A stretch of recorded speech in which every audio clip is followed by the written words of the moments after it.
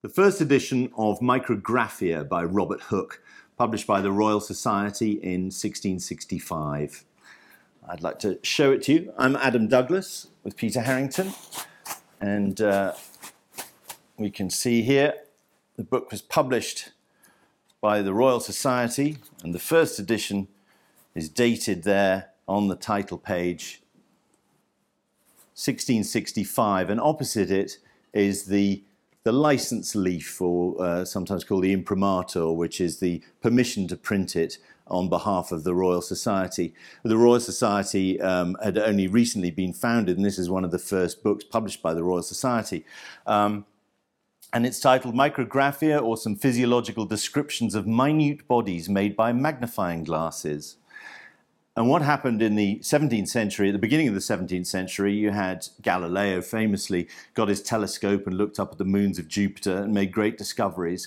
And Robert Hooke, who was um, a leading member of the Royal Society, in effect turned the telescope the other way. And he was using a microscope for the first time to look down into some of the hidden details of life.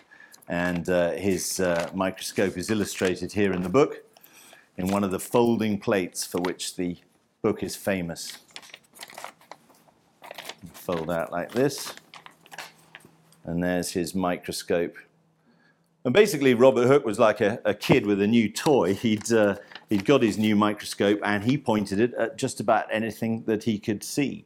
Uh, and all the world around him, which he'd previously seen through his ordinary eyes, was revealed in all its glory. The most famous plate is this one here, this folding plate, which gradually reveals itself, and that is the flea. And there's an irony, of course, that uh, at the same time he was looking at the flea, uh, the flea was busy spreading the bubonic plague around London. So it's a, there's a historical irony there. But you can see the intense detail um, in these plates. And remember that nobody had seen them before. Uh, Samuel Pepys talks about in his diary about buying this book, taking it home, and spending all night staring at the detail, things he'd never seen before. Some of the plates are even bigger than that. The next one is a, a particularly lovely one of a louse, great big folding plate there with all the detail for us to see for the first time. So it really was a new world that he was exploring. Um, Christopher Wren was involved with the Royal Society as well, and he is believed to have had a hand in preparing these plates for the press. There we see an ant. And although people must have had some idea of what an ant looked like, to see the detail for the first time of little hairs on the ant and the, the way its feet work, the the uh, proboscis, the jaws. Quite extraordinary to see all this for the first time. And it really had, you know, there are very few books that have that effect, that really, they enable you to see the world afresh for the first time. There's a little feather there, showing the way feathers are, are uh, arranged.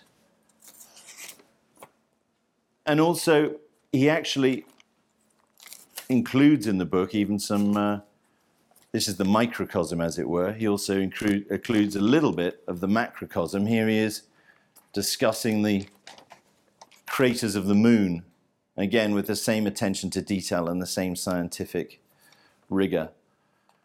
So it really is one of the most exciting books um, in science. It's a, it's a large folio. This copy is uh, in very good condition. You can imagine the way the, the plates are, are, put together, they're almost randomly inserted in the book. There are different sizes, different folds, and quite often the famous plates, like the louse, will be badly torn and repaired.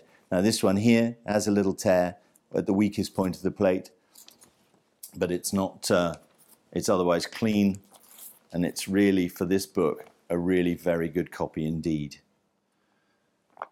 The book is from the library of the Society of Writers to the Signet in Edinburgh, which is a legal society in Edinburgh, and uh, it has its gilt supra libros on the covers there. The copy we have has actually been rebacked. Um, the spine has been replaced uh, there's no way around it with a book like this from this date, uh, 17th century book that's been read over and over again. It's the kind of book you want to open and pore over. Uh, eventually, the uh, leather on the joints gives way, and so it's been replaced, but uh, it's been done handsomely into style. And it's an extremely nice copy of one of the most famous books in the history of science. There are details about it on our website, Peter Harrington, uh, and contact details if you'd like to discuss it with us.